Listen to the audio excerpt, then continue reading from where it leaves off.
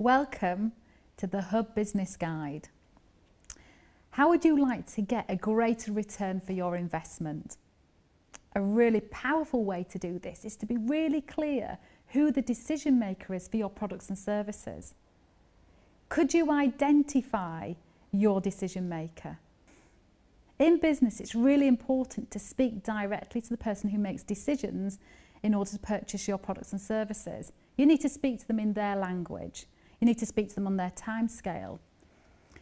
I've created a template for you to be able to break down all the characteristics, all the behaviours, all the habits that you need to know about your decision maker. It covers what sex are they, what age group are they, what car do they drive, where do they go on holiday, what position do they hold in companies, do they work, what are their hobbies. Once you understand the behaviours of your decision maker, you're then able to market your business, your products and service more accurately to them, therefore achieving a much higher return on investment for your marketing spend.